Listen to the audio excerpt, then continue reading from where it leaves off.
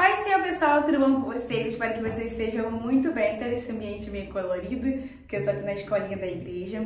Mas estou aqui pra gente falar sobre o nosso propósito do mês de setembro. É algo bem diferente que Deus falou muito forte no meu coração.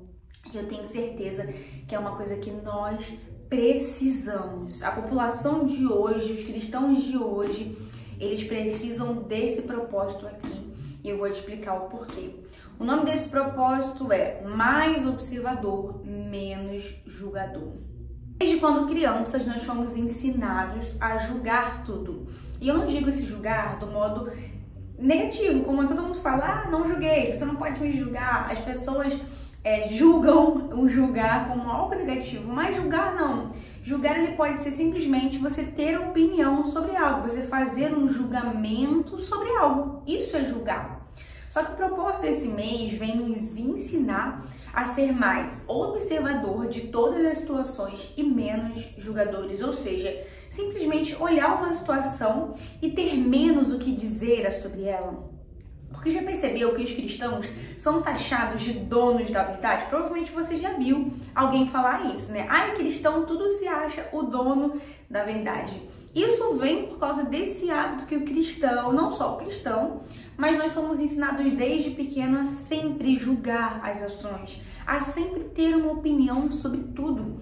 E isso acaba sendo tão cansativo, isso acaba gastando tanta energia, porque o julgar, ele gasta muito mais energia psíquica do que o observar. Quando eu observo, simplesmente eu olho e tudo bem. Agora, o julgamento, ele vai buscar várias coisas. Ele vai buscar em memórias, ele vai usar ali o hipocampo, ele vai usar experiências passadas, ele vai associar né, algo que você viu para criar ali aquele julgamento, trazendo até esse cansaço, sabe?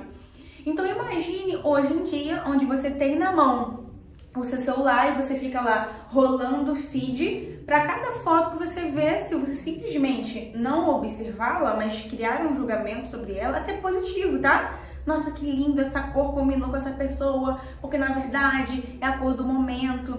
Isso no final do dia você chega exausto. E talvez você não trabalhe com nada que peça a você um exercício físico, mas você chega exausto desse tanto pensar, desse tanto ali trabalhar, o julgar e ter sempre uma opinião.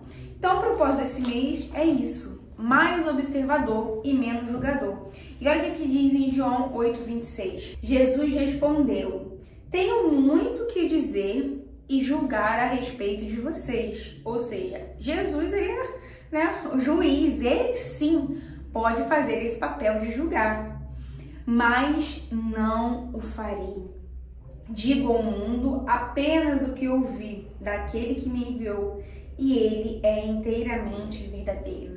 Até porque ele talvez tenha entendido que a partir do momento que ele nasceu ali na, aqui na Terra, né, através desse viés humano, a, a perspectiva dele era humana. Os olhinhos dele não chegavam mais, entre aspas, do alto. A perspectiva dele era humana. Então, ele pode ser que tenha pensado assim: não, eu prefiro ficar com o que o pai me enviou. Por mais que eu possa julgar, mas eu fico com o que o pai diz. E trazendo isso para nós cristãos, o quanto você não julga através das suas experiências, daquilo que você acha, do que você aprendeu e não daquilo que o pai diz sobre qualquer situação. E não só sobre pessoas, quando a gente fala de julgamento, as pessoas acham muito que é pessoa, né? Julgando tal pessoa. A gente julga tudo. A gente julga uma roupa que a gente viu. Ah, vai ficar feia em mim. Já trouxe um julgamento sobre ela. A gente julga uma situação. Ah, não vai dar certo essa situação. Ah, pela experiência passada, já sei que não vai dar certo. E simplesmente isso é um julgamento, uma hipótese. Você não tem certeza são hipóteses. Julgamentos não são fatos, são simplesmente hipóteses, ideias, né, baseado em N coisas.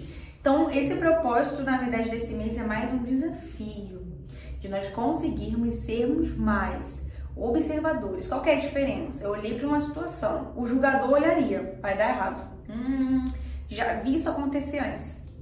Vai dar errado. Mas é certeza de que se deu errado antes, vai dar errado dessa vez? Não é certeza, né? Mas vamos lá. vai dar errado. Quando você disse isso, você julgou aquela situação. O observador, ele vai olhar aquela situação. Simplesmente. Ainda mais for o pai que mandou ele fazer, aí que ele vai com confiança. Gente, não quero que nós sejamos, como eu posso dizer, não coerentes no sentido de coisas que sim, a gente vai ter que buscar saber, vai ter que haver um preparo. Não tô falando sobre isso, mas sobre situações que simplesmente você não precisaria gastar essa energia que você tem gastado. Sabe, a fofoca é um julgamento, sabe? É uma energia que se gasta à toa. Tentemos guardar essas energias que nós temos sabe, no nosso cérebro com menos julgamento. Então, vi uma situação, vi uma pessoa, entrou uma pessoa com uma roupa estranha, acabou, só olhei. Só olhei. Não trouxe um julgamento sobre ela.